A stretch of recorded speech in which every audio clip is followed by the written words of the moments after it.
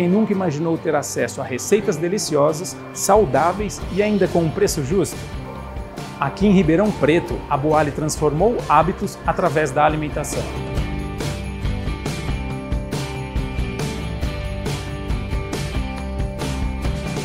E hoje nós vamos bater um papo com o Rodrigo Barros, que é sócio fundador e CEO da maior rede de alimentação saudável do Brasil, a Boali.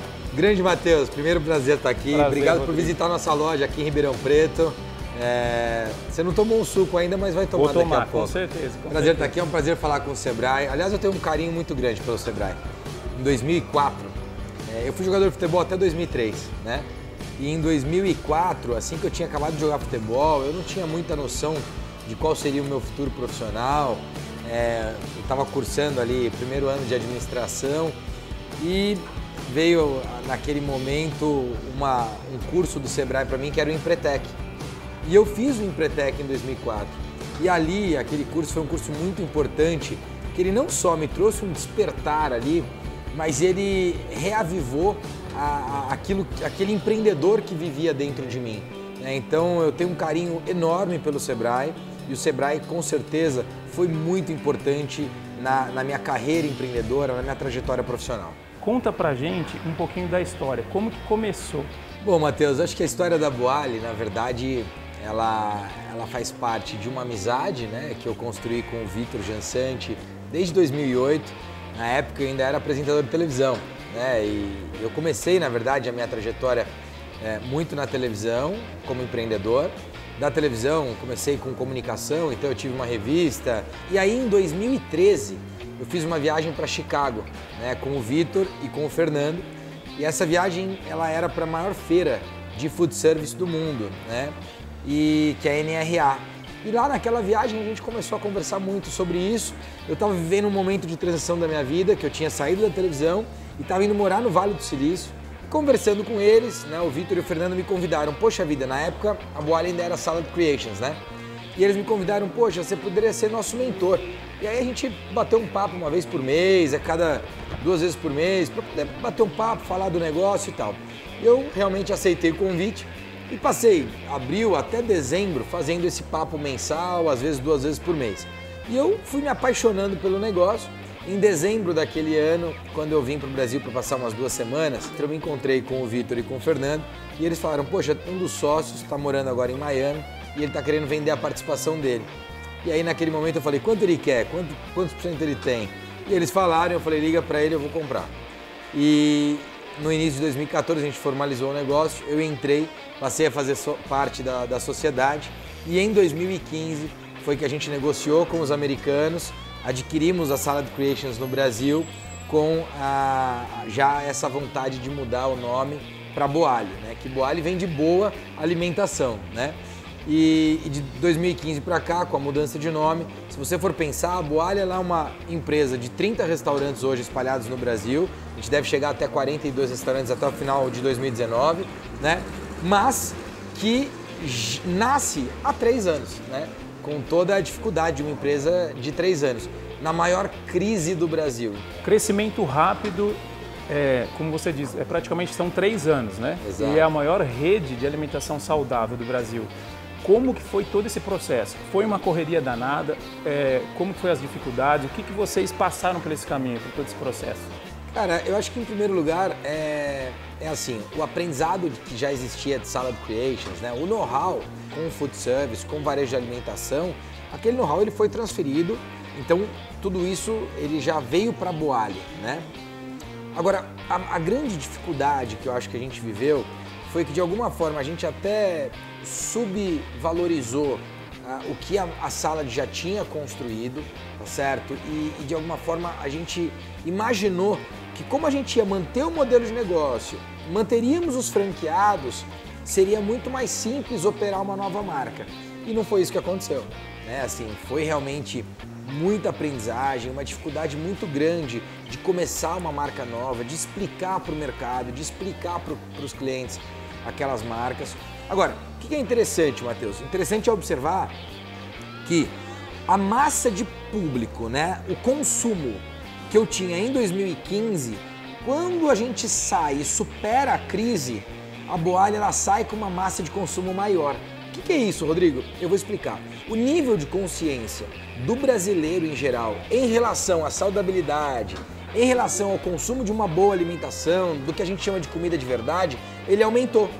Então, muito provavelmente, eu não sei se é o seu caso, mas muito provavelmente em 2015 você não se preocupava muito com Não, isso. Hoje, é, eu acredito que você se preocupa mais. A gente fica muito feliz de ter sustentado, de estar hoje com uma rede forte, uma rede que tem franqueados que acreditam na gente é, e que a gente agora retomando o Brasil, voltando a crescer, sem dúvida a Boali, a gente chega a 40 unidades e pro ano que vem a gente dobra. Sim, quase 40 unidades. Então vocês estão transformando os hábitos dos brasileiros e com um preço justo, não é isso? Então, quando a gente fala em transformar hábitos e fazer o bem, como é que a gente faz isso através da comida, né? Por que transformar hábitos? Porque no final do dia, para você se alimentar bem, aquilo precisa virar um hábito, precisa virar um comportamento seu. Não adianta você fazer aquilo uma vez por semana. Você mudando o hábito e criando esse hábito, esse novo hábito alimentar, que é o que a gente chama de reeducação alimentar, que é diferente de uma dieta. Ela é uma reeducação alimentar. Então, transformando hábitos nesse sentido, que é o hábito alimentar. Por que fazer o bem? Porque quando a gente transforma o seu hábito, a gente faz o bem para a sua saúde. Né? Você constrói mais qualidade de vida, você se sente mais leve. Né? Na parte da tarde, na hora de você ir tra é, trabalhar, voltar ali para o seu segundo turno de trabalho, você está mais leve, está mais disposto, com muito mais energia, muito mais fibra para poder viver o seu dia. Isso é fazer o bem também. É claro que a gente faz o bem de outras formas, né? Mas isso, quando a gente fala do indivíduo, a gente está fazendo o bem através da comida. E como é que a gente transforma hábitos e faz o bem através da comida? Universalizando o acesso à alimentação saudável no Brasil. E o que, que a gente precisa para universalizar o acesso? Duas coisas: distribuição, né? Então, aumentar o número de pontos de distribuição. Por isso que eu estou falando que no final de 2020 a Boali chega a 80 pontos de distribuição. Se você comparar o preço hoje do ponto de venda dos produtos que estão aqui com o preço de 2015, nós estamos abaixo da inflação. Então assim, desde 2015 o preço do produto da Boali não sobe, ele fica abaixo da inflação. Então isso é importante, né? É, a gente ter esse preço acessível e ele ter prontos de distribuição. Hoje um dos gargalos do nosso negócio, você imagina o seguinte, a gente está aqui em frente de uma das nossas lojas aqui em Ribeirão Preto, né? Das 30 unidades que a gente tem operando hoje, Ribeirão é uma delas. Como é que o produto chega aqui? Ele sai do produtor, que é o nosso fornecedor, é um fornecedor homologado, desenvolvido por nós lá na franqueadora, sai do produtor, vai para o nosso centro logístico, centro de distribuição, e dali ele sai uma vez por semana para cada loja. Aí você pode falar, mas Rodrigo, e o alface que está aqui dentro? E o tomate que está aqui dentro? Esse é o nosso hortifruti. O hortifruti ele é regional e ele chega nas unidades todos os dias ou pelo menos cinco vezes por semana. Rodrigo, você falou da expansão. A previsão é de 80 pontos, né? Como que vai ser isso? É, é, é até legal essa pergunta, obrigado, porque assim, a previsão é de 380 pontos até o final de 2024, né? 80 até o final de 2020. Como é que a gente vai fazer isso, Matheus? Primeiro, porque a gente acredita num Brasil que está retomando, a gente acredita num Brasil que está crescendo. Segundo, a gente se aproximou muito da rede e a gente, nos últimos três anos, ficou com algumas lojas próprias, a gente chegou em 10 operações próprias. A gente vendeu operações próprias para franqueados para que a gente possa focar 100% na rede de franqueada. É muito importante para o empreendedor entender quem que é o principal stakeholder dele. O nosso principal stakeholder é o franqueado. E hoje a gente já tem franqueados querendo aumentar. Tem franqueado que tem uma loja, tem franqueado que tem duas e tem franqueado que já está querendo ir para a terceira. Isso é muito legal.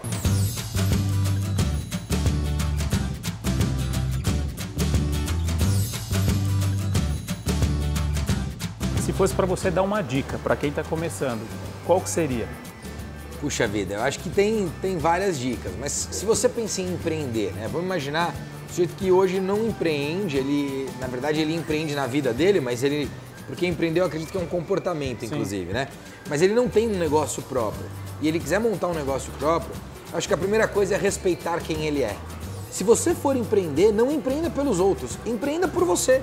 Empreenda porque você acha que aquilo faz sentido na sua vida. Né? Isso é muito importante. Respeitar quem você é. Cara, acho que empreender é o seguinte, é você acreditar em você. Empreender é um comportamento, né? É comportamento empreendedor é quando você é um protagonista, quando você acredita que você define aquilo que você vai fazer da sua vida. Você acredita em você mesmo. Você não coloca a culpa nos outros. Empreender é justamente não terceirizar a culpa. Empreender é não olhar para o lado e falar, ah, mas é porque fulano, é porque ciclano, é porque o presidente. A culpa não é de ninguém, a culpa é tua. Empreender é você acreditar em você mesmo. Rodrigo, para você o que significa transformar as vidas das pessoas com alimentação saudável? É, eu, eu, acho que significa é o que a gente fala de viver um mundo boali, né? A gente fala por um mundo mais boali. O que, que é um mundo mais boali? Boali vem de boa alimentação. É, mas as pessoas que se alimentam bem, elas têm outros hábitos parecidos. Né? Então, eventualmente, é, sai para correr. Né? Então, eu não sei como é que você está hoje com isso, mas pode ser que você pô, vai sair, vai dar uma corrida duas, três vezes por semana.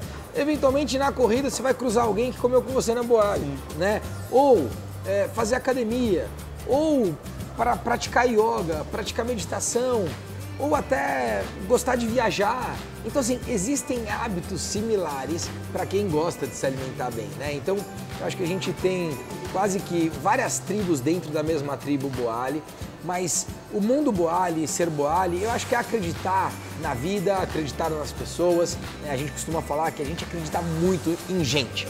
A gente é uma empresa que gosta de gente e acredita em gente, acredita nas pessoas. E através disso a gente acredita na transformação de hábitos é, e fazer o bem através da comida. Ok.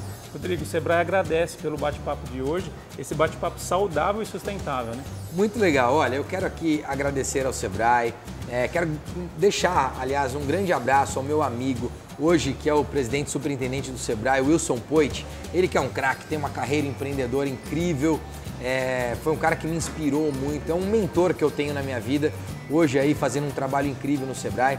Também quero agradecer porque lá em 2004 o Sebrae participou da minha vida e teve, na verdade, um papel fundamental na minha transição né, de jogador de futebol para empreendedor. Então, agradeço ao Sebrae. Já tive a oportunidade de dar palestras no Sebrae São Paulo, lá no Sebrae Rio Grande do Sul, lá em Porto Alegre, eu tive lá com o Sebrae. Mas eu tenho já uma grande conexão com o Sebrae, agradeço muito.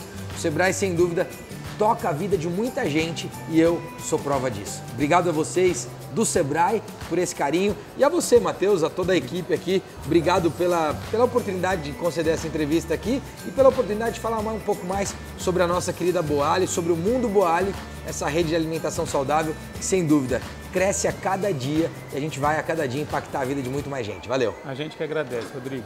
Nós vamos ficando por aqui com mais um bate-papo empreendedor.